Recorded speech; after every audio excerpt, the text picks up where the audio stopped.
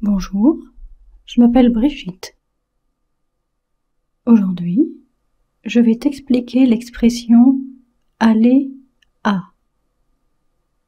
Für den deutschen Ausdruck zu einem bestimmten Ort gehen, benutzen die französischsprachigen das Verb, auch Tätigkeitswort genannt, aller und die Präposition, auch Verhältniswort genannt, à.